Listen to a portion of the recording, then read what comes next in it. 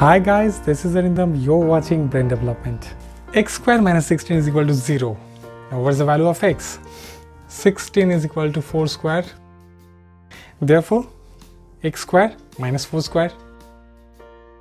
So x plus 4 into x minus 4 is equal to 0. Well, the actual sum is x to the power 4. So this one will be x square and x square. If x square is equal to 4, from this one,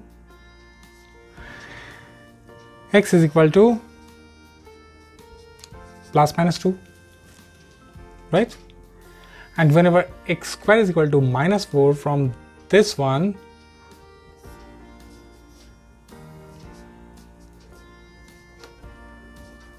x is equal to plus minus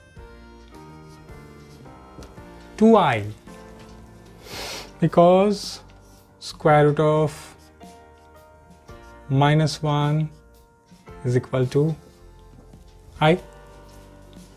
And it's bonus time. X to the power 4 minus 9 is equal to 0 again we know this right?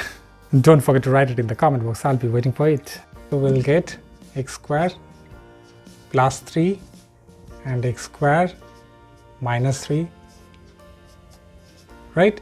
And again x is equal to either plus minus square root of 3 or this is from this one right? And what about this one? Please do it by yourself write it in the comment box.